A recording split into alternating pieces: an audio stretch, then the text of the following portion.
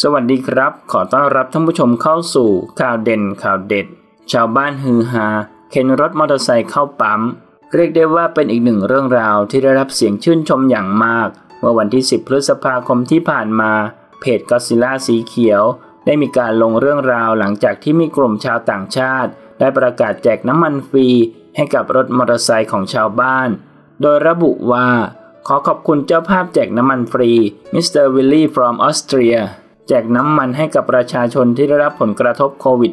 -19 ในพื้นที่ป่าตอง ที่ปั๊มบางจากเป็นเวลา 1 ชั่วโมง ตั้งแต่เวลา 14 นาฬิกาถึง 15 นาฬิกาวันนี้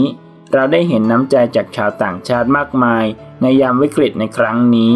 เราขอเป็นตัวแทนบอกต่อความดีของท่านในครั้งนี้ เพื่อให้คนไทยได้รับทราบกันโดยทั่วกันนะครับ ขอขอบคุณจากใจจริงครับ โดยหลังจากที่ได้มีการโพสต์เรื่องราวก็มีชาวโซเชียลเข้ามาแสดงความคิดเห็นชื่นชมกันเป็นจำนวนมาก เรียกได้ว่าเป็นอีกหนึ่งน้ำใจจากคนต่างชาติที่มอบให้กับคนไทย ขอขอบคุณข้อมูลจาก Siam Topic ขอบคุณครับ